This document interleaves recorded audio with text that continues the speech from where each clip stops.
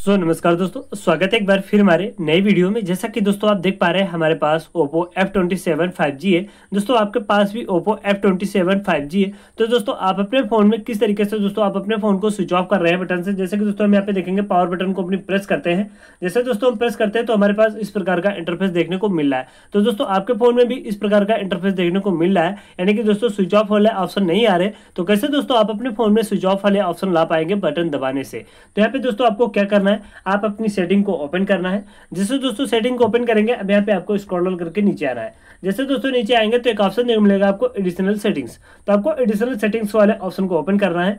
जैसे दोस्तों, आप इसे ओपन करेंगे, अब यहाँ पे आपको देखने मिलेगा पावर बटन तो आपको पावर बटन वाले ऑप्शन को ओपन करना है।